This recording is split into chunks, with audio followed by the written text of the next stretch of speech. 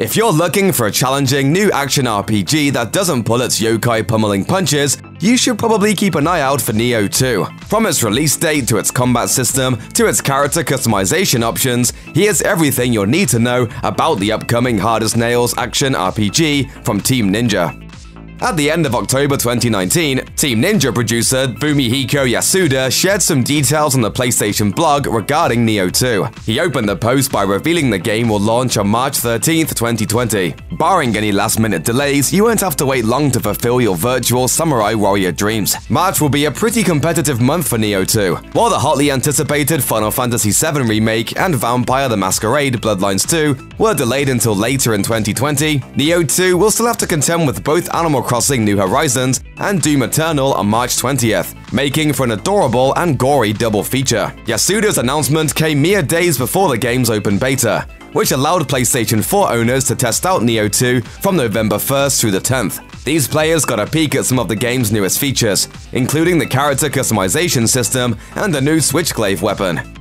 While the first game explored the story of the white-haired foreigner named William, Nioh 2 takes place earlier and makes things a little more personal. This time, you create your own human yokai hybrid character. The events of the game take place during 1555 and are partially rooted in history. According to an official banner on display during 2019's Tokyo Game Show, your character is a yokai hunter in the Mino province. One day, after besting a terrifyingly powerful yokai, your character starts turning into one. A wandering salesman named Tokichiro calms your character down, and together they roam around Japan during the Sengoku period. 待ってたぞ俺は藤吉郎お前の名は Further reporting from Game Informer offered an inside scoop on what your character and Tokichiro present. Together, the two make up the historical figure Toyotomi Hideyoshi, who reunited Japan under one banner, ending the Sengoku era. In Nioh 2's interpretation, however, Hideyoshi was actually two people, a salesman and a yokai samurai warrior. The story, of course, will have lots of dark supernatural elements that deviate from the real world, so it should be an interesting take on one of the biggest moments in Japanese history.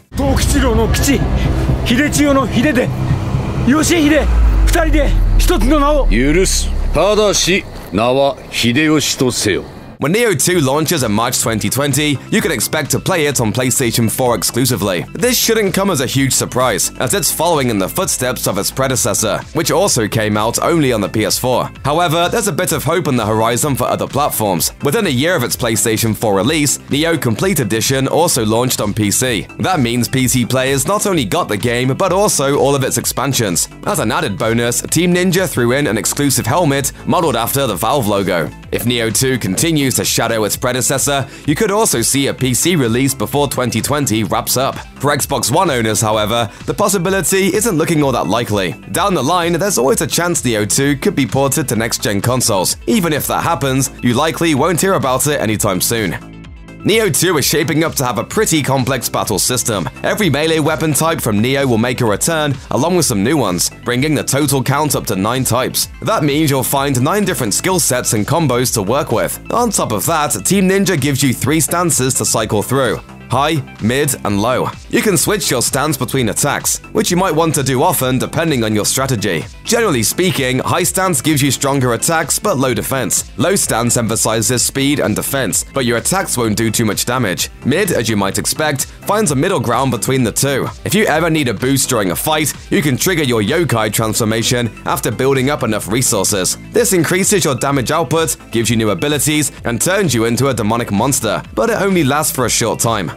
Nioh 2 is giving fans a gameplay they've come to expect from the first title, but with vast improvements. Where the first Nioh had a co-op mode, Nioh 2 will have a proper multiplayer that allows up to three people to slay the Yokai Scourge together. But even this new multiplayer isn't your typical online co-op. The normal multiplayer where friends can fight alongside each other will still be included. Players will be able to create benevolent graves that allows copies of their characters to act as helpful NPCs to a friend online when they, themselves, aren't online. These faux NPCs will assist players and allow them to access soul energy to utilize supernatural powers. In Nioh 2, gamers will play as protagonist Toyotomi Hideyoshi, who is half human and half yokai. This mixing of species will increase the level of customization players are able to utilize. Everything from age to height and unique facial features are available for players to tailor to their own desires. You can also choose your character's gender, an important but often missing feature in many games. Back in November 2019, Team Ninja hosted a contest where players could create their own characters. Three male and three female designs were chosen as winners, with their designs made available in the game as presets. The winners also got their names in the credits of the game. If that doesn't speak to the pride Team Ninja is taking in its character creation AI, we don't know what does.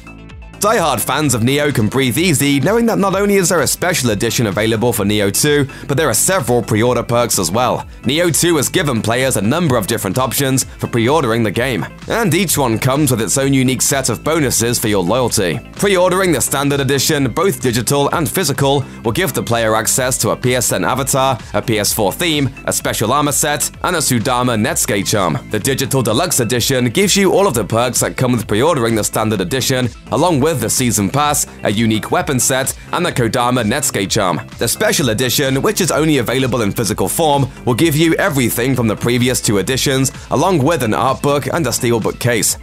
The opportunity to test a game before its release is one of the major perks of attending gaming shows and conventions. Those who attended the 2019 Tokyo Game Show had that opportunity when a demo for Nioh 2 was made available. The feedback developers received about the demo was generally positive and helped shape what the final product looks like today. But there was another interesting detail that came to light after the event. 3,500 people played the Nioh 2 demo in Tokyo, but of those 3,500, only 175 people actually finished it. A meager 5% of players were able to beat the demo. Fans have come to expect challenging games from Team Ninja, but this level of difficulty seems almost cruel. Luckily, after feedback from the Tokyo Game Show and the open beta, the developers fine-tuned the game. Whether these changes have produced an easier experience remains up for debate, as the creators continue to market Nioh 2 as incredibly difficult. Hopefully, the feedback at least resulted in a more balanced game. Only time will tell. Difficulty settings have spawned a debate in the gaming community. Some feel easier modes remove the prestige of completing what would normally be considered a difficult title. Others feel it makes games more enjoyable when you can adjust them to your skill level. Whatever your feelings on the topic, Nioh 2 will not give you the option to choose how to play. Feedback from the Nioh 2 demo presented at the 2019 Tokyo Game Show painted a clear picture. Nioh 2 is not an easy game. In fact, the challenging nature of the title has been on Team Ninja head Yosuke Hayashi's mind as the release date nears. He explained, We wanted to provide players with a higher level of satisfaction. That was our priority. The developers have taken feedback regarding the combat in Nioh 2's beta to heart. Hayashi told Eurogamer, It was almost too difficult and demoralizing, so we adjusted the difficulty based on that. If you make a move that's high risk and high return, if you die, it should feel like it's your fault. It should feel right when you die. For players who find Hayashi's words a bit disheartening, never fear. Though the challenges in Nioh 2 will be difficult, you'll have multiple ways to approach them. Players will be able to assess a situation and find a solution that best suits their style. Betas and demos have given players ample opportunity to try out Nioh 2 and provide feedback, and Team Ninja has made good on its word to listen to fans. After receiving reports that the monsters and battles in the original Nioh weren't diverse enough, the developers made it their goal to offer a whole horde of new enemies with unique combat functions. This has resulted in some pretty insane battles. The nightmarish monsters you'll find in Nioh 2 aren't commonplace. Their odd and off-putting appearances make them stand out from other video game enemies. The man-eating Nure Onna, for example, looks like a giant giant snake with a woman's head. The imagery is terrifying enough without adding her combat abilities, which are sure to lay your character flat on their back within seconds. There's also Caracasa Umbrella. That, as you may have guessed from the name, looks like an umbrella with one giant eye at its center. This yokai appears on rainy nights to startle its prey. These aren't your normal baddies.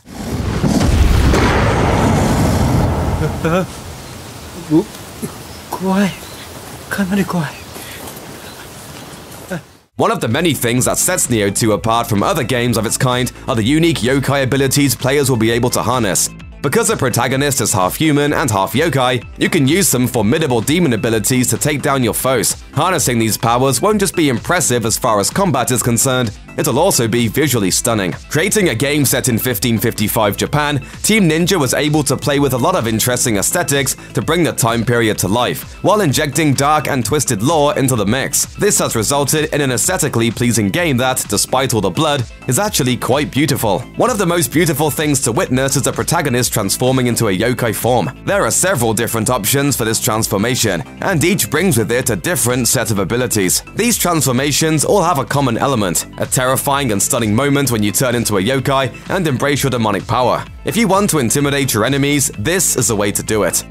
The core Nioh 2 experience will already include a rich lineup of challenging combat and exploration. Team Ninja plans to extend the journey through three DLCs. This additional content will take place before the events of Nioh 2, which is set in 1555 during Japan's Warring States period, and will introduce several new elements, including enemies, weapons, combat abilities, and characters. Multiple main and submissions will also provide hours of fresh content. Players who wish to purchase a DLC can take advantage of a forthcoming Season Pass. Like other games with season passes, purchasing this pass will grant you access to each new DLC pack at release, ensuring you don't miss any new offerings. The Season Pass is also available as part of several special edition options for Nioh 2, such as the Digital Deluxe Edition and Special Edition.